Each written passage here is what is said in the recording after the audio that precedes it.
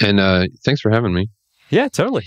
Uh, well, uh, well, thank you so much for for jumping on. Uh, excited to chat about uh, all the cool stuff that you're working on. Calling in from outside of Portland, uh, Troutdale, the the suburbs. Uh, excited to get into your just world of making. So I know big on Lego, but I bet you've built a lot of stuff along the way. So excited for for you coming on, and thank you so much for for chatting with me.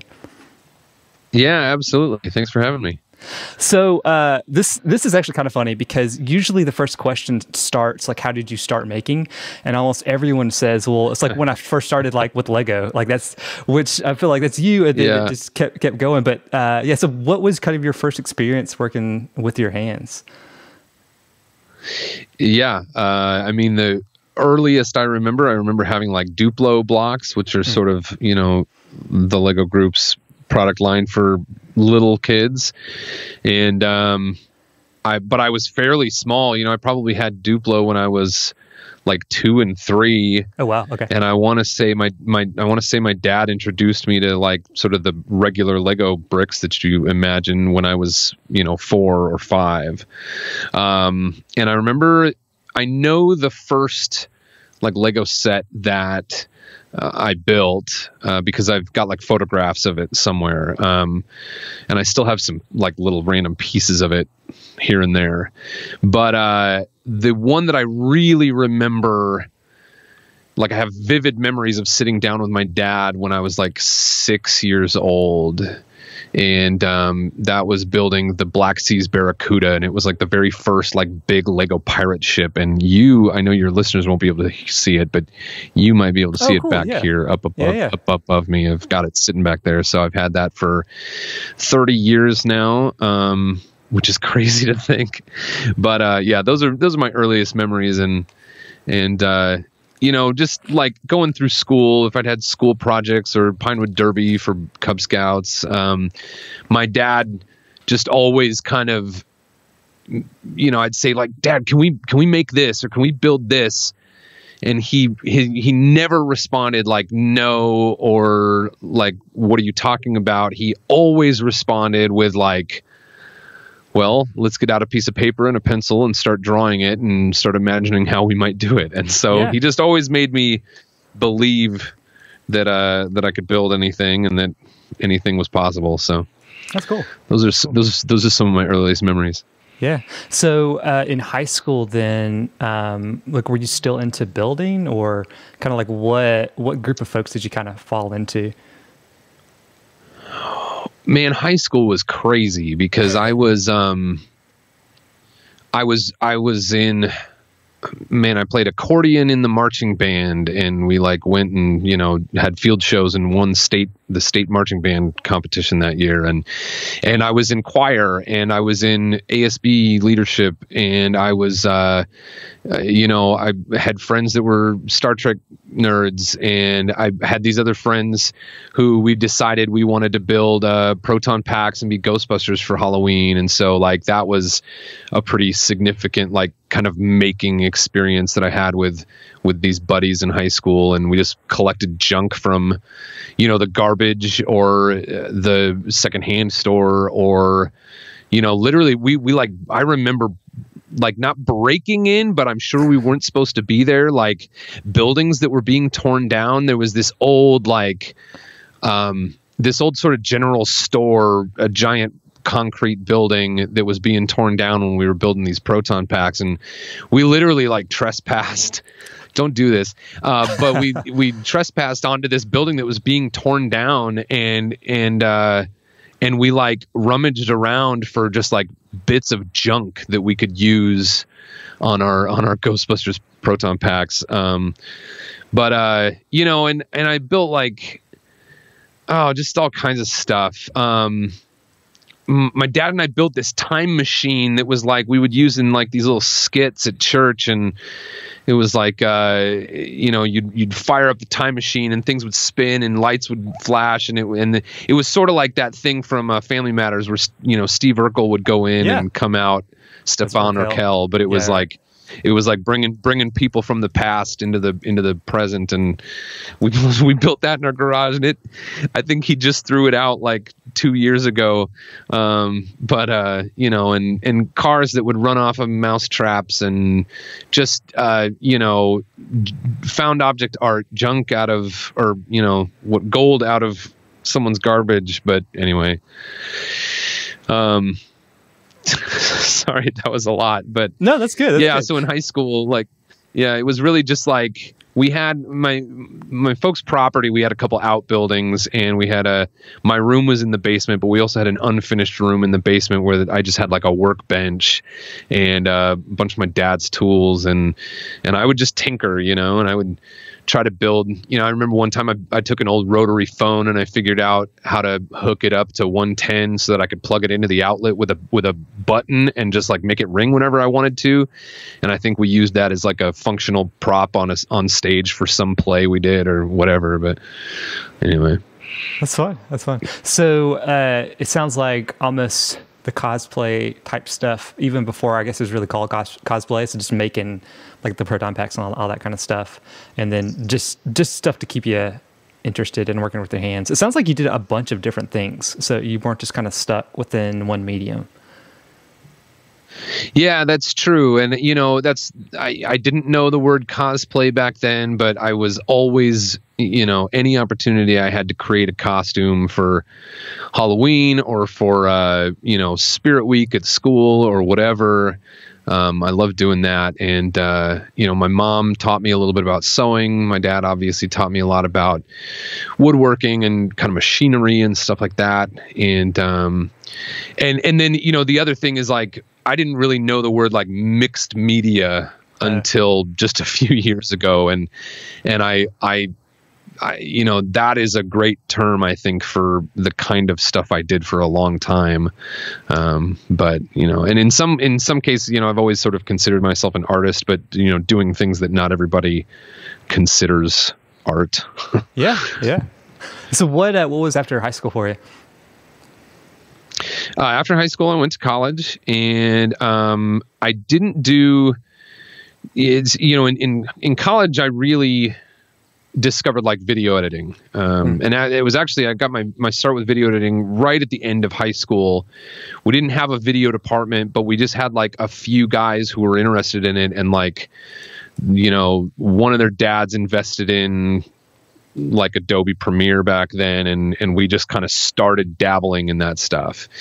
And so then when I went to college, I went to a very small school, a very small college here in Portland, and I was one of the only guys in the entire college that really knew how to do video editing and um, so I kind of became like the video guy. And so then the the bit of like sort of making you know physical objects was often to sort of support something that I was creating, you know, for video. Um, so I would build props for dumb little movies that I made, or, you know, I, I remember, you know, what setting up a bunch of PVC pipe for some kind of prop I was building.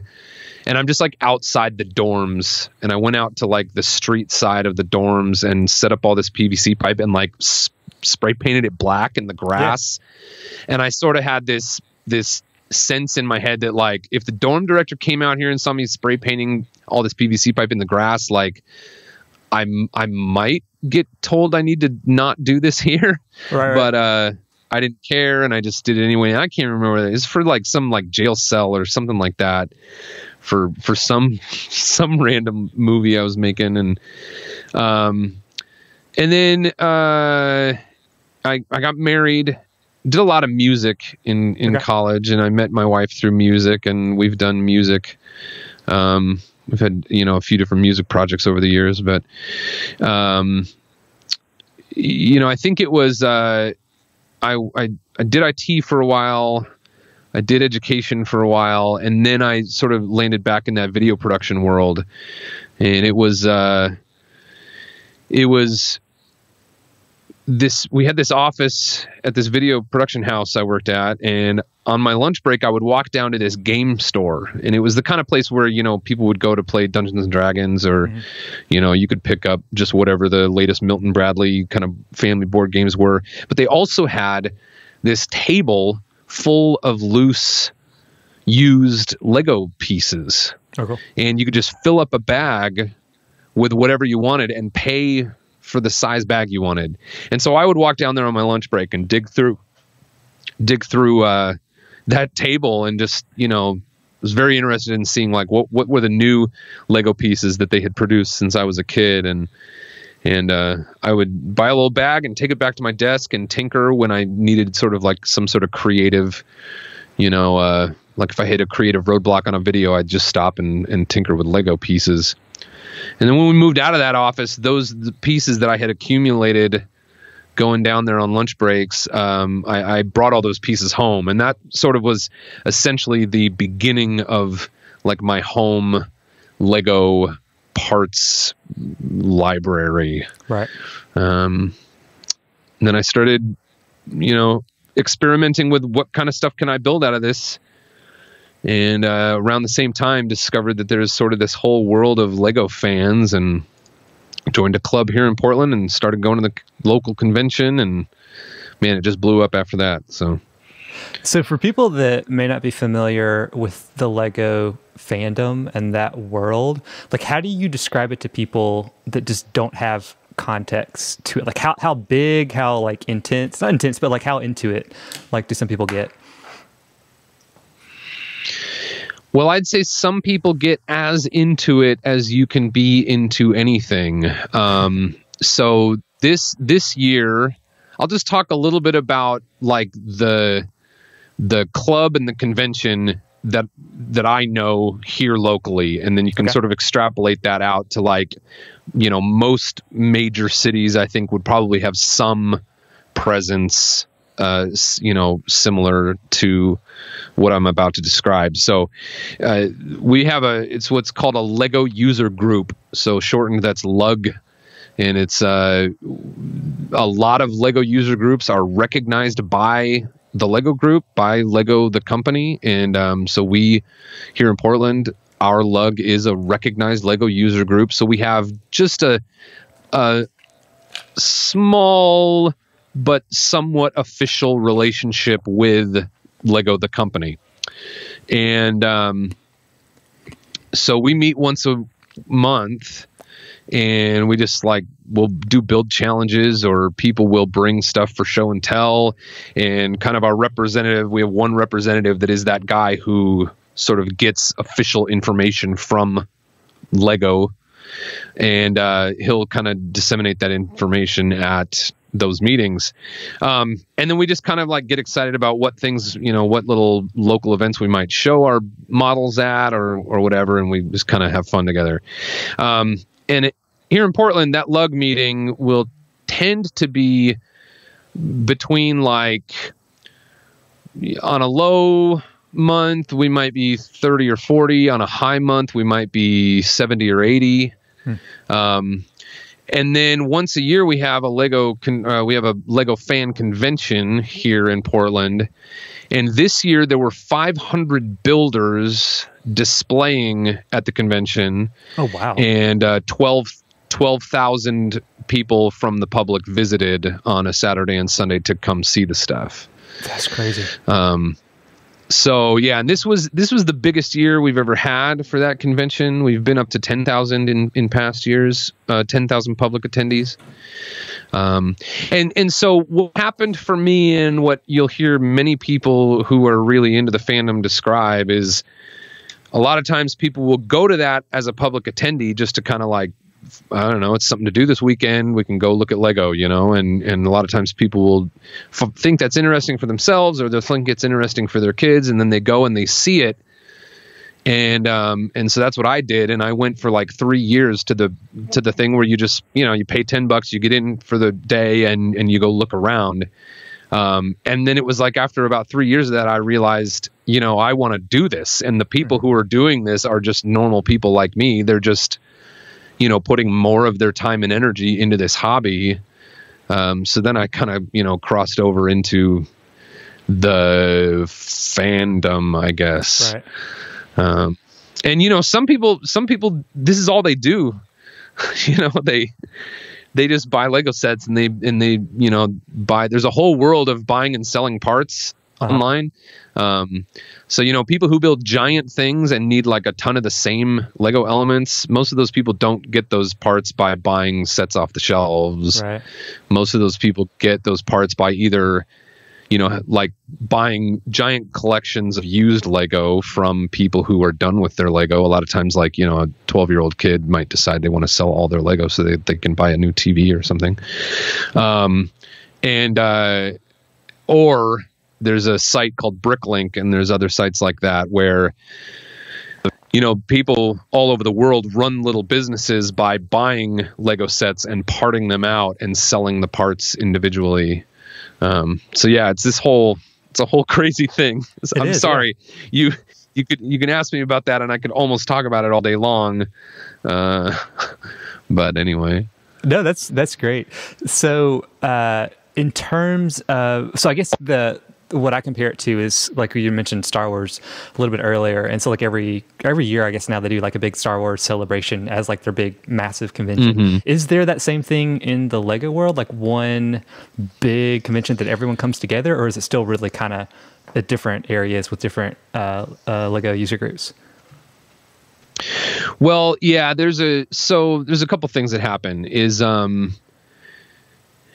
you know they're all over the place. Um, the the two really big ones in the United States are uh, there's Brick World in Chicago and Brick Fair Virginia, um, and uh, those those just happen to be the two largest ones. I think they've been running for a, a while, and um, and so a lot of people go to those. So if you're going to have people traveling from far away, typically you know you might see a lot of those people at at those ones. Um, but the one that I sort of think, you know, the further you sort of dive into the fandom, the the more you might sort of be aware of this, and it's called Skærbæk, and it's in uh, it's in Denmark. So the headquarters of Lego is in Billund, Denmark, and um, Skærbæk, Denmark is not far from there, and they've been doing a a Lego convention there each fall. And that has kind of become the one that like super fans want to try to get to because it's the closest to the headquarters. So like if you're going to travel, you know, if you're from some other part of the world and you're going to travel to Europe, then you can you can go to a great convention and you can visit the headquarters. Um, but it, it's not it's not necessarily the largest convention. It's just the one that probably gets the the biggest variety of people from all around the world. Uh, and I have not. I have been to Billund Denmark, but I have not been to the Skærbæk fan weekend yet. Gotcha, gotcha. So, and so you're sitting in your uh, your shop and when I, especially when I watch it, like you mentioned, like the people that are building these massive things, like I feel like they just have rows and rows and rows, like all organized, super crazy. But it sounds like if you, even if you have an idea, there's ways you can source the bricks to get them specifically for your projects. So like you personally, has it just been years of just kind of building up your inventory or like are you constantly kind of like buying new ones for new projects and selling ones you don't need or what's that kind of like for you uh, yeah, it's a combination of all of that. I, you know, I think just you know what I have here on hand is not necessarily as organized as some people get. Um, I I tend to organize my brick into pretty broad categories. Some people get very granular yeah. in how they sort, um, and uh, I don't do that. But but you know what I have here largely represents you know buying um, bags from stores similar to the one that I described earlier, where you can go in and you can select your parts from a big uh, uh, table and put them in a bag. Um, or you know the Lego brand stores have what's called the pick a brick wall, so you can go in there and you can fill up these cups with different elements that they have on the wall there.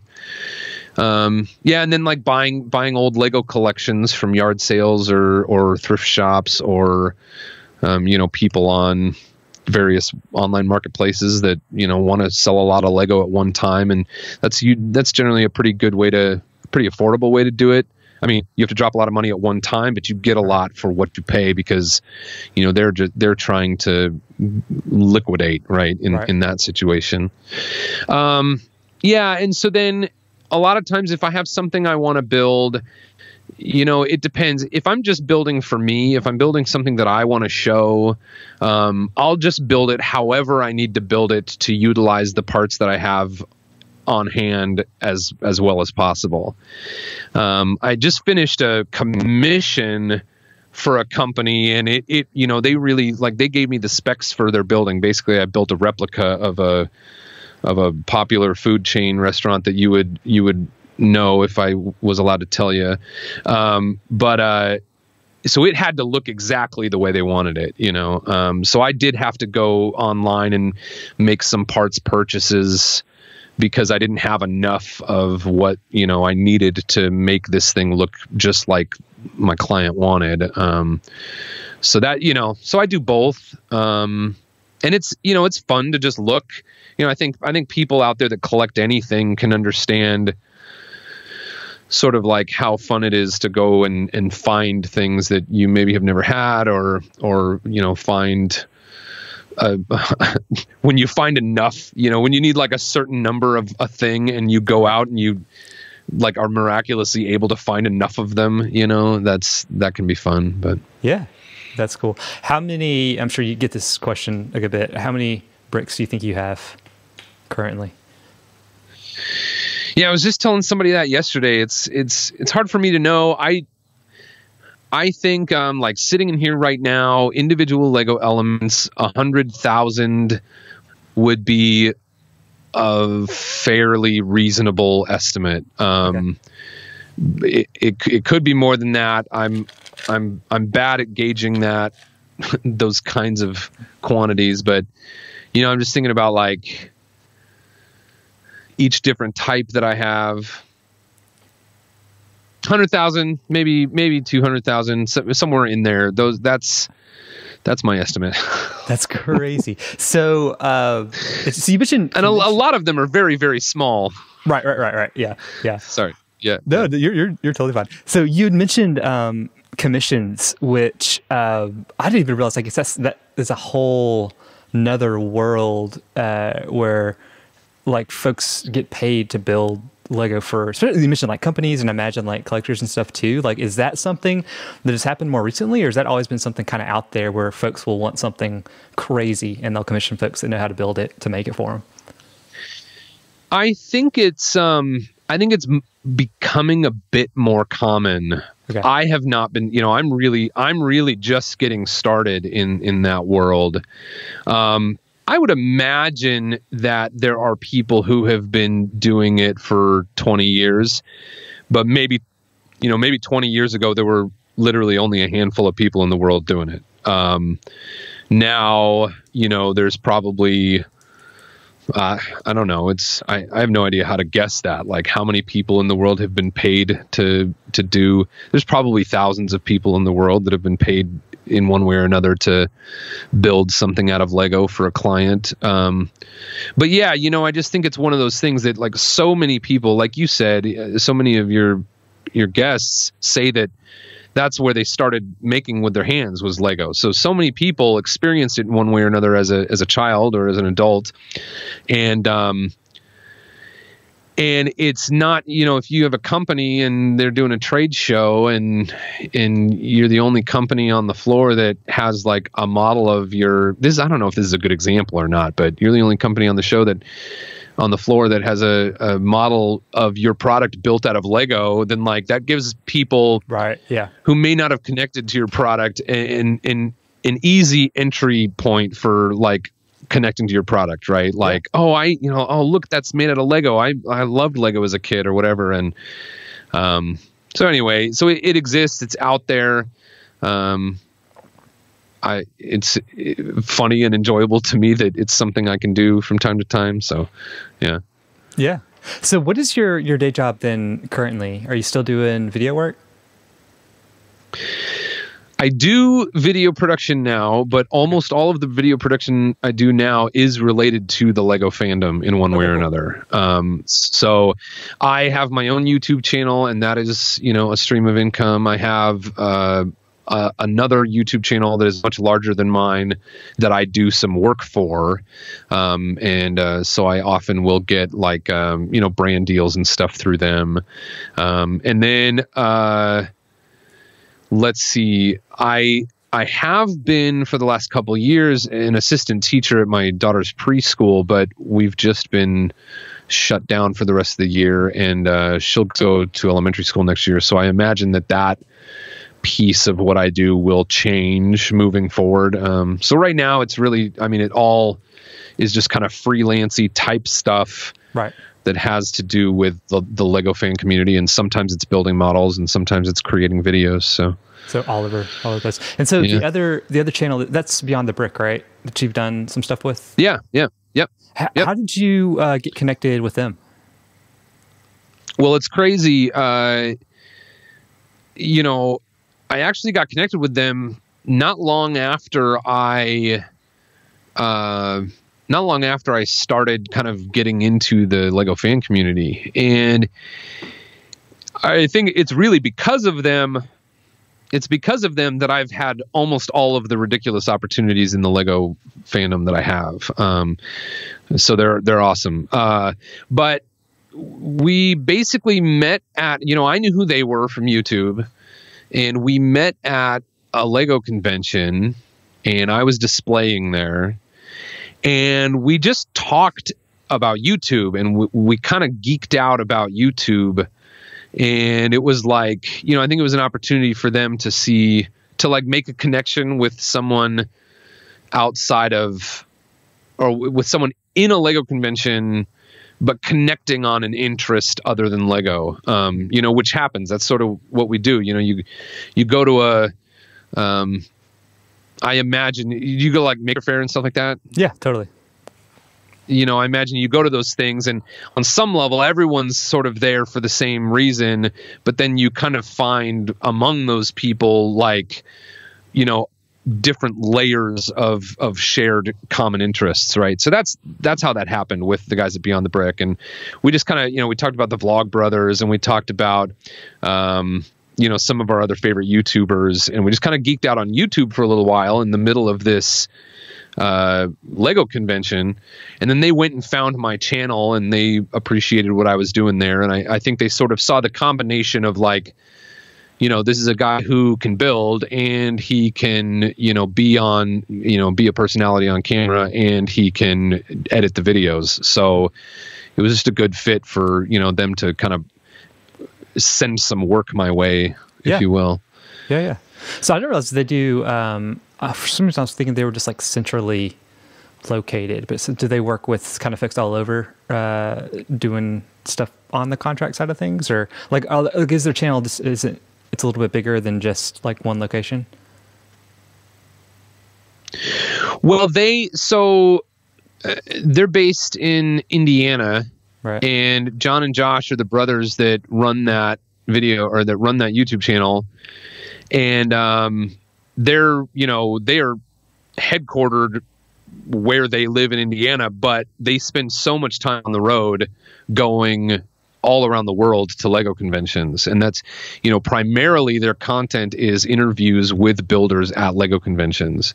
gotcha. Um, so so that's how they they've got content all over the place, and you know that's why they were at the convention here in Portland the year that I met them, and um, and they've there's you know I'd say there's probably half a dozen what I we call ourselves contributors, I guess, to Beyond the Brick, and there's you know there's there's probably like a half a dozen of us, and we just are offered projects when they come available.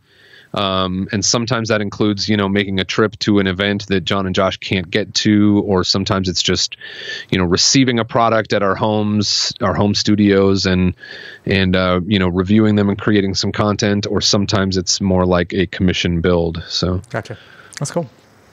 So uh, the one thing I definitely wanted to ask you, uh, and if people aren't familiar, even with Beyond the Brick, they probably have seen you on Lego Masters. And so, how did you even? Sure. How did you even hear about the show? And like, so we've we've had some folks that have been on uh, making it. So on NBC, yeah, uh, yeah, the craft the crafting show. Actually, we had uh, the guy that won it two years ago on, but uh, like just the casting process for that. Like, was it? Did you just see an open entry and decided just to put your name in the hat? Yeah, so I actually, um, I I actually applied for making it the fir- the first Oh, season cool. when it was it, you know the it was under the name of uh, the Handmade Project before Yeah. it got renamed Making It and and uh, I you know I made it through a couple rounds of um, of the audition process for that first season of making it because you know I, I make other things and I think they were interested and I, I was able to show them a lot you know and but uh so you know I, I had so many lego models that i wanted to submit when i was submit you know gathering all the images Oh, for right. applying for making it uh, that i thought you know there just needs to be a, a lego version of this show and uh, eventually there was um, another piece of the story is i had a friend who was on a, a tbs show called king of the nerds um, and she won season two. So my, my friend from high school, Kayla, won season two of King of the Nerds. And uh, so she was able to kind of like all along give me sort of some uh, advice on on you know what casting directors are looking for for this type of show. Um, and so I had talked to her about King of the Nerds, I had, which I never actually applied for, but I talked to her about making it. And then I, I was uh, you know, I think about this time last year, she sh- sent me a message, you know, in like spring of 2019 and said, Hey, Boone, I've just heard some rumblings that Lego Masters is coming to the United States. She's like, I don't know anything about it, but you're going to want to keep your ears open because it's coming. And I was like, oh, sweet. Uh, and then I went to, um, I went to San Diego Comic Con in July of 2019 and I was sitting in the audience of a a Lego digital media forum presentation. Uh, so it was guys there that animate for um, the Lego Jurassic Park series and the Lego Ninjago series and some of these other properties, and they were just talking about what's coming and what's new. And and uh, Joshua Hanlon from Beyond the Brick was actually the moderator of that panel at at SDCC, and uh, and at the end of the panel, they announced that Lego Masters is coming to the United States. Fox has just signed on to uh, be the network for the show. And by the way, the website to apply is live now. Oh wow! And and, and that was that was the end of the panel. Um, Right. And uh, I- so I literally like I stood up and I walked out of the panel room, and I called Mark, uh, who you, who my partner on the show, and I said, "Hey, you want to apply for Lego Masters?" And uh, and we did. Um, and we actually, you know, it was it was just like an open. So I it was it was the exact like the beginning of the process was exactly the same as making it. So for your your your guests who went through that process or for any of your listeners who are familiar with that um, it- you know it's ba- pretty much exactly the same casting product process they're just looking for people who do a slightly different thing Yeah. um, and uh, and and and you know it's a pretty in-depth application. So we you know we're kind of looking at it and gathering stuff gathering a lot of photos and some video together for that application for a couple weeks and during that time uh, casting producers actually reached out to us on instagram to sort of like drum up some interest be like hey you know we like what you guys build. Are you interested in applying? So they did that for a lot of people. I think they you know i wouldn't be surprised if they reached out to some some hundreds or thousands of people. And i and i heard that i don't know if this is true but i've heard that the number of people that applied was like 11000 um Gosh. and and and and there were about 60 there were about 60 people so that'd be like 30 teams uh, at casting finals in at the beginning of October and then about you know 10 teams went down for the show at the beginning of uh the beginning of November Were the casting finals? Is that in person or is that just another round of interviews? that was the first piece of yeah so it was the last round of casting you know we had we had already done i guess the first bit would be like um, submitting your form or having a phone call um, and uh, and then the next was like a series of skype interviews and so we did a we did a few rounds of skype interviews and then yeah, then it was like casting finals. They flew us down to LA and we spent a weekend at a hotel near the airport and we had a couple build challenges. That was a lot of fun. And, uh, you know, I saw like um, the one person I knew before all of this was uh, Samuel Hatmaker. Um, and uh, the moment I walked into the hotel for casting finals, he saw me from across the the lobby and ran over and gave me a hug because we had we had met before and cool. we were all incredibly nervous, you know. Yeah. But uh and then of course when we flew down for the show, we recognized some of the people that we had seen at casting finals, so That's cool. Yeah, it was wild. Was it always a team competition? Like was it a like you and Mark application together or was it a separate kind of application process and you guys got put together? The application was for teams of two. Okay. So Mark and I applied with one application that included both of us. Um, but because there were casting people reaching out to individuals, you know, most most of those most of the people that were reached out to by individually because a casting director saw their Instagram or saw their YouTube and liked their stuff and liked their personality. Um, most of those people were encouraged to find a partner Got it. Okay. to audition with. Um, but some of those people, you know, either they found a partner that didn't work out for one reason or another, or um, or they were just individuals who the casting department liked enough that they brought them as far as casting finals you know, as an individual and then put them with somebody. So th- there's two teams on the show. Um, and it's it's Sam and Jessica and Aaron and Christian. Those two teams on the show were put together, and uh, they were all people who were applying. And and like Sam and Sam and Christian and Aaron all had other teammates somewhere in the casting process that for one reason or for one reason or another couldn't do the show when it came down to it, or um, casting, you know, wanted some other options. Um, but uh, but yeah, uh, the rest of us, the rest of the teams, you know, there's a couple married, couple married couples in there, a couple of teams of friends. I think Mel and Jermaine had only met online, but they'd been following each other for a while, so they applied together. Oh, cool. And they got on together, but they did. They had never met face to face before Lego Masters. Um, yeah, Manny and Nestor were father and son. I'm trying to think. They, you know, it's just kind of most most of the people had some kind of relationship before the show. Yeah. What was the most kind of un, un, unexpected part of just the the whole process of being on the show for you? Unexpected part. Um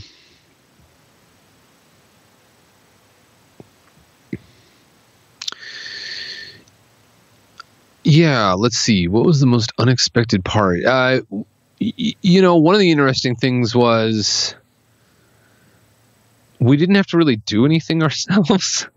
for, okay, what do you mean? You know, for the for the for the time we were there, like, uh, of course, everything you see on camera, like we're working very hard oh, and, gotcha, and doing gotcha. by ourselves. Right, but like, but like off off camera, we like if we if we needed something, like some production assistant would just like show up with it Yeah. you know Yeah, yeah. a few a few minutes later that was weird um uh we didn't oh the i guess the clock you know i've i've been in little situations where we had to build on a clock before um just at conventions you know like fun games where you're you're trying to do a challenge in a certain amount of time but the clock was really like the most unbelievable difference between yeah. building at home and building in the Lego Masters competition because it was just it was just crazy. It was, you know, it was time would fly by. You'd look up there and it's so much pressure.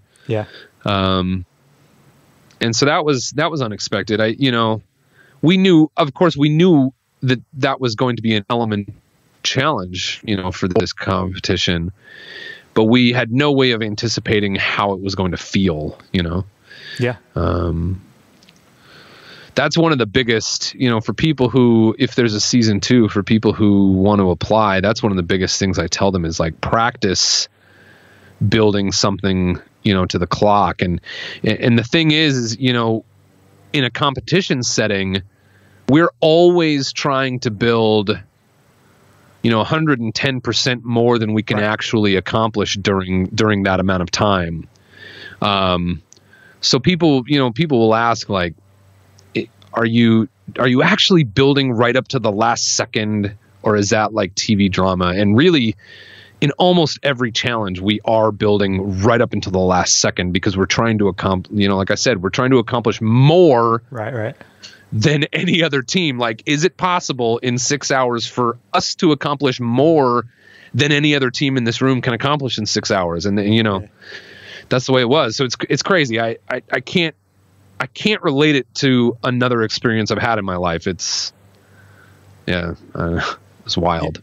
Yeah, that was. I wanted to ask if the tension was was real, and it sounds like it was, especially with the clock. How much faster would you say you built on the clock on the show versus like you're doing the the work just in your shop? Yeah, well, that's I would say I would definitely say faster. I don't know how to quantify it, but um, but one of the main differences is if I'm working in my shop and you know a lot of what I do when I'm building is trial and error, mm-hmm. and I might I might put a little piece of a model together and and look at it and go, well, what do I think about that? Like, should I try some different combinations of of other things that I haven't tried to maybe make that better than it is? And um, I feel like we didn't have time to do that. You know, we we never felt like we had time to build something and and stand back and ask ourselves if it was good or not. You know what I mean? It almost always felt like if we had spent the time building it, we had to move on. You know, because that time was gone and that thing was already built. And and so it always felt like a thing that's built is better than a thing that's not built. Um, when we've already used some time. So so that's an interesting piece of it. Um, so you know, it, we definitely we definitely like trusted our gut and and built and then like moved on and felt good about things much faster than I would at home. Um, because you know at home I have all the time in the world. Mm-hmm. If I want to build something for the convention, I can start three months before the convention, or um, or if I'm just building something for myself, it can literally take as long as I want. Um, you know, so I can think a lot about, well, what am I going to use here, or what colors should this be, and let me try this, and if it doesn't work out, then I can take it apart and do it again and do it differently. But we really felt like we had too much pressure on the show to, to do that. Yeah, yeah. In terms of, I guess, the Hollywood aspect of it, especially the folks there like Will Arnett, and then even like the celebrity, like the guest host, or like R2D2 and C3PO walking in, like, was that all a surprise? Or like those reactions that you guys had, like, were they, uh, like in the moment, you're like, oh shoot, that's just someone I had no, no idea that would they'd be on the show walking in while we're building. Yeah, well, it was it was all they they kept as much secret as they possibly could um, so we we did know that Will Arnett was the host. I think they announced that within like our first two days there. So our, our first day there was like um, our first day there was just like wardrobe tests. And our second day was just sort of out in different parts of town taping stuff with our partners, you know, for like hmm. slow mo kind of background footage while we're doing our um, you know, like uh, what do they call those? Uh, background, I think maybe background packages where okay. it's sort of int- introducing the teams to the right. audience. And so we just had a day of like shooting random, you know, buddies running around the town kind of shots. Um, and each team did that in a slightly different way. Um, but uh, so we we didn't start we didn't start a challenge until like everybody's third day uh, there, and so you know that I suppose was Will's first day on set with us. But it was sometime in in the that first or second day that we discovered via you know announcements online that Will Arnett had been you know, uh, had agreed to be the host for yeah. Lego Masters. Um, so we weren't like extremely in- excited. It wasn't a surprise to us when we saw him, but when you see us see him for the first time, it is the first time we're seeing him. Right. And that was very exciting, you know. Yeah. Um, and and it's also we're like taking in like this room, this incredible set that they built to like look like it was made out of Lego in in like Lego colors, and and then there's just this giant, you know, part of the room that's full of bins of Lego pieces and um, and the lights, the giant lights on the ceiling look like the bottom side of Lego bricks. Uh, so you know we're taking in all of that at the same time, and, and we're having those reactions, and and it's you know um, that was but you know the one the will arnett was the one time we weren't surprised i think with every other guest that came on the show we were surprised and you you saw us having surprise reactions because we really yeah. were seeing them for the first time and we didn't know who was coming um, and and then the big one for me was probably um, terry crews and the weird thing about that was is I had speculated that Terry might be the host of this show because uh, okay. a couple a, a, couple weeks before we went down, um, Terry Crews. I follow him because my wife and I love uh, Brooklyn Nine Nine, yeah, and yeah. he's a hilarious, hilarious, guy, and I've seen him in all kinds of things over the years, and um, and uh, he had posted a picture of a big um like Star Wars TIE fighter made out of Lego uh. that he had sort of like in his you know, he had it in a display case somewhere at his house. And um he seemed super excited about it. I was like, oh, okay, this guy's funny. He sort of seems like the tier of celebrity that they might get for a uh, for a reality TV show host, and and he's posting about Lego on his Instagram. So he was really like my biggest speculation for for uh, being the host, and and and I had talked about that before he appeared, and so then I was when he burst through the wall, I was blown away to see him because I love him as an actor and a comedian, and and it was also just shocking that I had that I had you know spoken about Terry right, Crews being on this show, and then suddenly he was. Yeah, yeah. Um, and so I was just flabbergasted. So you see that, you know, and I'm, I'm, uh, I tend to wear my emotions on my sleeve anyway. So I, you know, I'm, I'm, uh, prone to, to big reactions. Yeah. Yeah. Um, it, just in day to day life. Uh, and that's probably, you know, probably one of the reasons I made it on the show is, uh, they they were able to see that I had something in my personality that would make me fun to watch. But um, but anyway, uh, yeah. So what you see is real. I mean, I'm not. I won't say that it's not a. They're creating a scenario where all that stuff is heightened, right? Right. right. Um, but but I wouldn't say any of it's fake. You know. So yeah. Yeah, yeah. There that that reaction we were coming through, I was like, "There's no way that, that that was that was staged." When they cut to you and you're just losing it, and I'm like, "This is this is incredible." So it uh, it was, it was cool. yeah, we had no idea. Oh, and I'll show you. I don't. Who who who gets to see this? Just you and a few people watching on. Well, so I'll I'll actually post it to my YouTube channel as well, so anybody can can see it if they if they're just listening right now, they can they can come back in. This is a piece of the styrofoam wall that Terry Crews bursted through. That's awesome. He came in on this on that episode. So there you go. Just a little treat, little treat for the people that watch the YouTube channel. Did you just take it? Uh, yeah, every pretty much anything that was like one time use like that um, ended up by the dumpster. Oh, cool! Right at the end of the day. Um, so that was sitting out there, and it, so those were the pieces. You know, I, I think that the the pieces that exploded out of the wall when he came through and just ended up right in the dumpster. But that four by eight. You know, I want to say it's probably like a maybe it was bigger than that. It, it might have been like a six by twelve section of Uh-huh. wall. Um, you know, with a hole, a Terry Crews shaped hole burst through it, was sitting by the dumpster for a couple days, and uh, a few of us just pulled pieces off of it. Um, but like, yeah, like the uh, the big um, the big like Pinewood Derby track from the bridge, uh, or the bridge episode, and we did the Pinewood Derby cars. That when we walked into that episode, it was it was massive, and it was all made out of wood, and it was awesome. And then we did that challenge, and two hours after we finished that part of the challenge, the entire Pinewood Derby track was like destroyed and in the dumpster. It was crazy. Yeah. So yeah, that's.